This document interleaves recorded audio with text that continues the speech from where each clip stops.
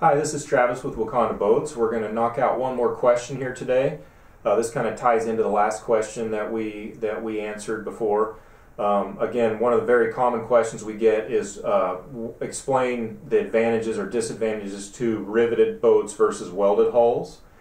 And uh, so I, I usually start this. I like to give people unbiased examples so you can kind of get a, a visual. And so boats and airplanes, they, they have similar characteristics in the fact that they have to flex, you know, because they're under stress. Um, there's a reason that you never see welds on an airplane wing, and that again because when you're in turbulence, those wings have to flex.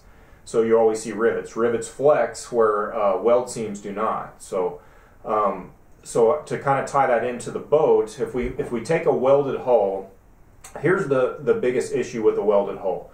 Um, so when you weld a hull, the stringers have to be welded to the bottom skin. And so you have weld seams all the way across. And because welds don't flex, when you're, when you're under stress, that aluminum is going to flex around the weld, like so. So you'll see, if you look on the underside of a welded hull, you're going to see what I call buckles. Um, but what that is, it's basically just lines that come across where the, where the aluminum flexes around the weld seam. And so that's, I guess, my biggest issue with welded hulls is you're never going to have a uniform hull with a, with a welded stringer, and that is just because welds don't flex. Um, and I'm not saying that there's not quality welded boats out there. There, there are.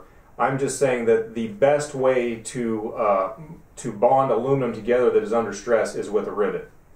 Okay, now, I do want to say too, not all riveted boats are created equal because I will say there are cheaply made riveted boats, okay? Um, but, you know, Lund is not in that category. So what Lund does is they, they again, we double rivet the seams. A lot of it has to do with the quality of aluminum and the quality of the rivet. They use aircraft grade aluminum rivets.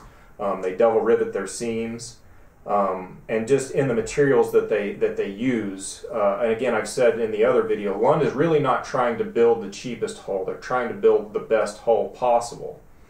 And uh, and there's just it's it's um, definitive that the best way to bond aluminum together when it has to be under stress is through a rivet.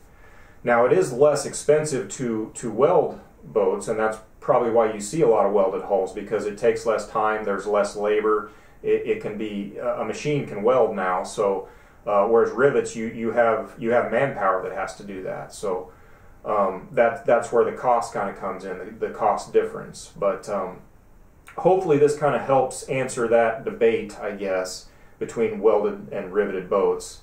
Um, I, I, guess I hope I covered that well. Um, and again, other questions, guys. We're, we're here to try and um, and and take care of any questions that you guys have. You can message us anytime and thank you very much.